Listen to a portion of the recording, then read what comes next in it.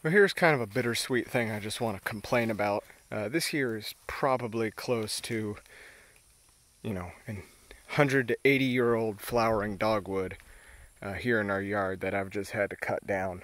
Um, really pains me to have to do that, but she's been on the way out for five years. Um,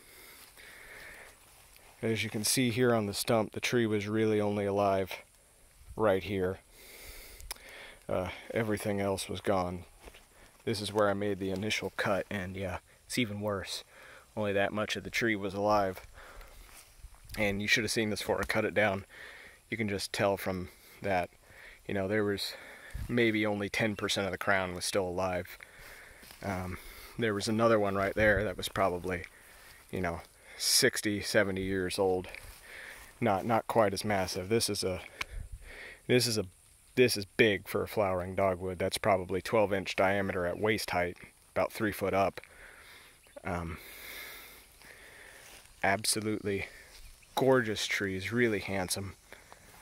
You know, but they, they grow incredibly slow and this this anthracnose, which is a fungal infection, uh, it's just been sweeping through the southeast for the last, I don't know how long, decade or two, and uh, it's finally caught up with our dogwoods.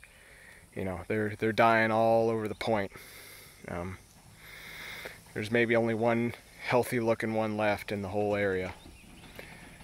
That's a damn shame. So if you see your dogwood start putting out epicormic budding, which is adventitious growths along the trunk, um, she's gone, I'm sorry.